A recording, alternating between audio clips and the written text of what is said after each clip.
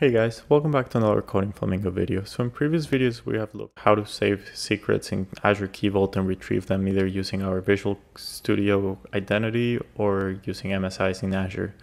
Uh, but sometimes there are some projects that are not going to Azure or maybe you don't want to pay for a Key Vault for development or something like that. So in those cases, usually what people do is they keep the secrets in the config files in production and before that they either keep them in the config files, which is bad. You should never do that uh, because people can steal that from GitHub or something.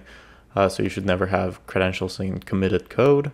So then the other option is .NET has a way to like keep your secrets in um, in kind of like your development environment.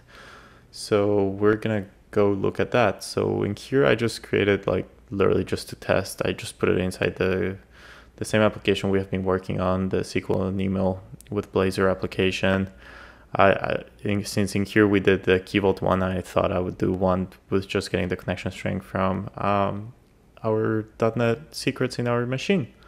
So first of all, I'm just going to show how to do it. So basically, um, how you do it is you go to in PowerShell, you go to your folder where your solution is. So as you can see, I'm inside the solution folder. Then here you first do um, user secrets init. So this is going to create kind of like the place where the secrets are going to be stored and where uh, Visual Studio knows where to get the secrets from.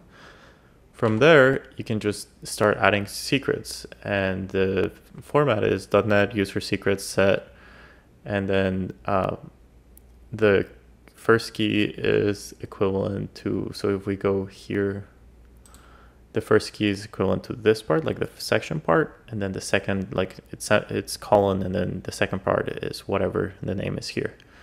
So in this case, we're gonna do the second one that I'm doing connection string and secret connection, and then the value I'm just putting as, as a value, but this should be your actual secret.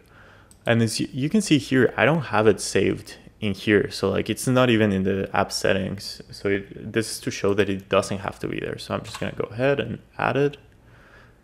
And now it's successfully added and I can like list it. So in here I can see all the secrets I've saved.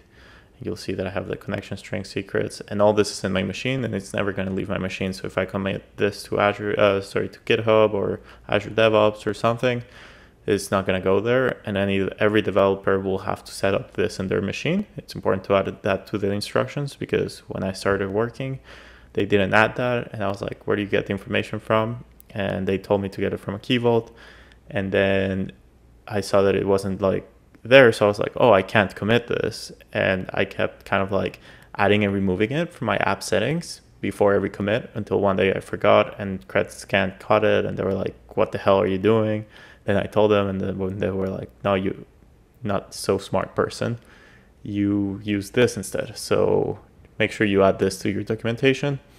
Um, so yeah, let's just run it and see how it works. I mean, it's pretty straightforward. It'll just get the string as expected. So we're gonna go here and we're just gonna click the API where I put it and I put the breakpoint after it. So I just went ahead and got the secret reset. So that's how you set it up. Thank you for watching and I'll see you in the next one.